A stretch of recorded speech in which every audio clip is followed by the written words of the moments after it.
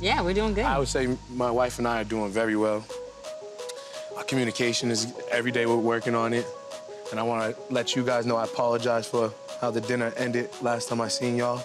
But you guys got to see I care for my wife. And Dr. Pepper, she has some concerns.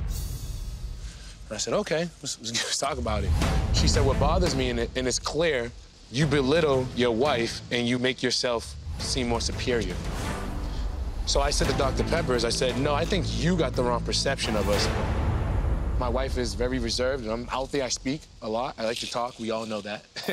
and so if I'm talking a lot, it could seem like maybe I'm talking like trying to belittle you or something. I asked my wife, do I belittle you? And that's the same reaction I got.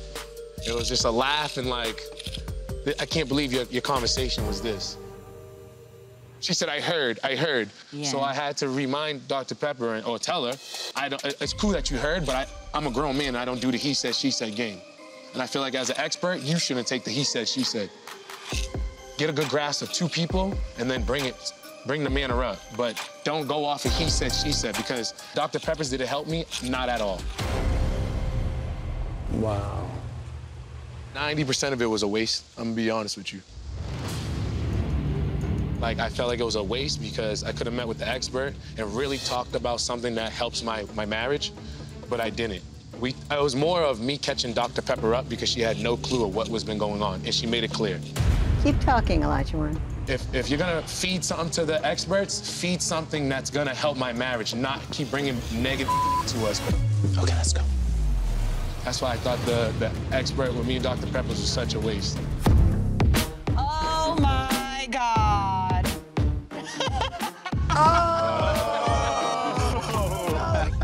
What's up? Wow. We wanted to talk to you guys. Uh, we've been listening to your conversations. And we really think there's lots to talk about. So we want to go over all the couples and underline some advice, maybe. Don't look at me like I'm the first victim. Well, um, we'll make you the second. okay. What I did in my interview with Olajuwon that he loved so much was um, to have him interpret what I was hearing for the people who watch him every day. So that he can clear up from his point of view what his marriage is and is not, and how it has changed from the beginning to this period. You may disagree on what was being said or what was shared with me, but we're really not here to go back and forth on that. The important thing is that the marriage is going well, that you care about each other, that you're feeling closer to one another. So to me, that's the win, regardless of anything else. maybe our one-on-one, she she it didn't come out right. So I was happy that she she cleared the air. But this is me and Katina's marriage, and this is how we get along. We can't shape it to make America happy or anybody else happy. We're gonna shape it that makes her and I both excited to see each other. Nothing is always perfect. Your relationship's not perfect, and you know that, okay? But the one thing that I do know about you, Katina, is that you have resolution in mind. So, irrespective of what's going on, your first thing is how do we resolve this? How do I bring peace? That is a beautiful thing, and that's what you need in your, in your world. This woman is exactly what you need.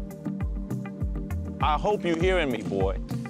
This woman is exactly what you need. Do you hear me? I always say that's one of the Yeah. best things I, I love about my marriage, and I, Yeah. I, I'm not in love. But we resolve things, and I think it's because it's Can- in her. It's in I- her. Can So I she speak keeps to that real quick? balanced. You said I'm not in love. Yes. Right? You committed to her? Yeah, absolutely, absolutely, yeah. Do you want anybody else? No, I mean, well, no. I don't Yeah, think I've I'm gotten just asking a married. question. Just Yeah. asking. I'm just no, asking. No, Okay, all right, right, right, right. Love is making a decision to commit to fulfilling another person's legitimate needs. Mm-hmm. The feelings come after that. Right. And most people are in love before they think they are. Love's not a yes or no question. Love is something that grows.